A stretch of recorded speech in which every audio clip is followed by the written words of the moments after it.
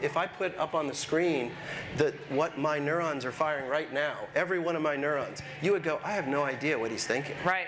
Right? We don't know how to decode We don't that. know how to decode that. And this is the expertise of, of, of, um, of the promise of AI, the promise of machine learning. Incredible. To end on an optimistic note, if if it all goes well, could you just humanize what you think the, the patient experience could be in 10 years' time if all of this comes the way that you, you hope it will?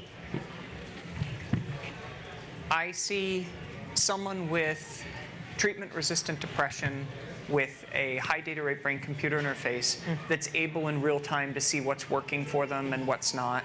They're trying out a new medication, and instead of having to wait weeks or months before they switch, the neurologist says, uh, uh, uh, "We can see it already. This isn't going to work. Let's try something else." Um, they're trying. They're using their neural stimulator device. It's working. They see, oh, you know what? Yoga is like super helpful for me. Uh, it turns out that this like weird diet that I tried from Dr. Oz wasn't super helpful. like being able to get real-time feedback on some of these things. Um, that's where I see David, you want to try to end? Oh, that's, close? yeah, I mean, okay, simple example, uh, which is very real.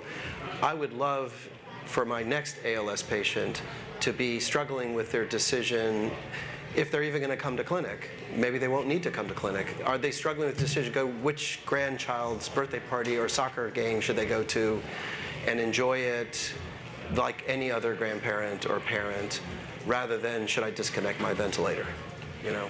That, that's really literally the choice.